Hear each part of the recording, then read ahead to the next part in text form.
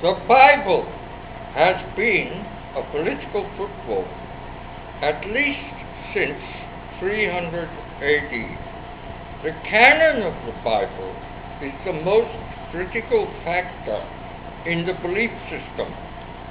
The canon means the official list of books to be included in the Bible.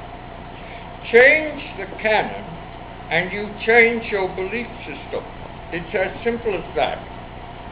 Immediately after the Council of Nicaea in 325 AD, an attempt was made to fix a canon, but no universal agreement could be reached.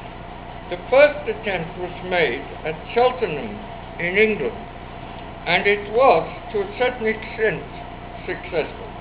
However, although the final construction of the canon could not be done until the Council of Trent in the 16th century AD. Some cataclysmic changes came about immediately as a result of the Council of Nicaea.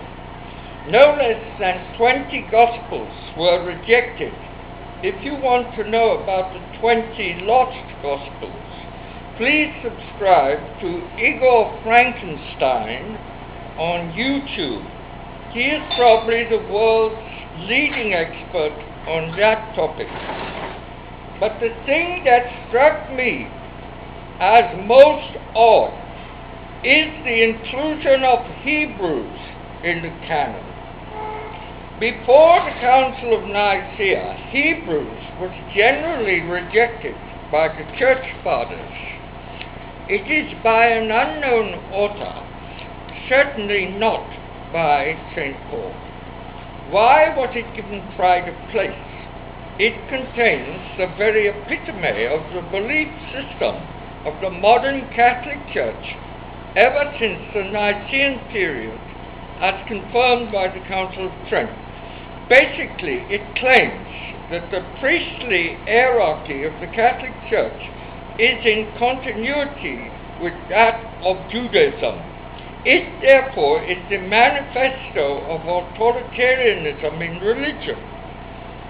Many so-called conservative Christians can trace their conservative beliefs back to the 16th century.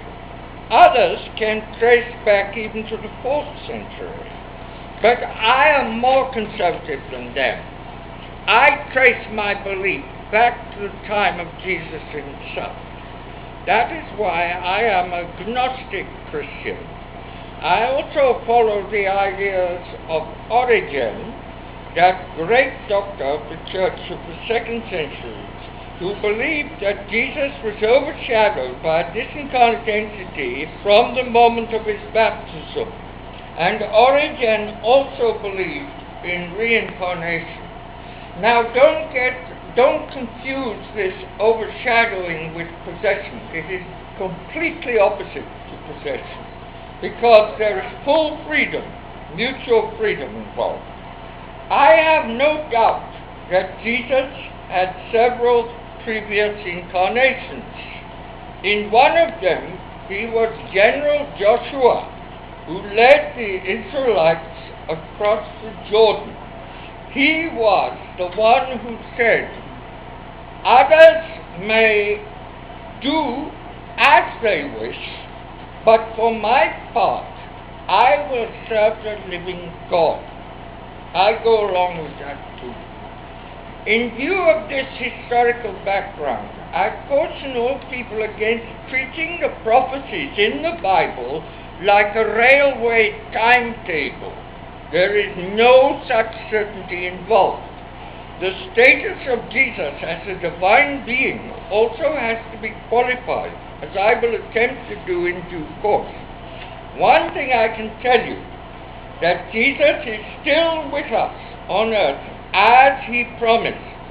I have seen him and spoken with him.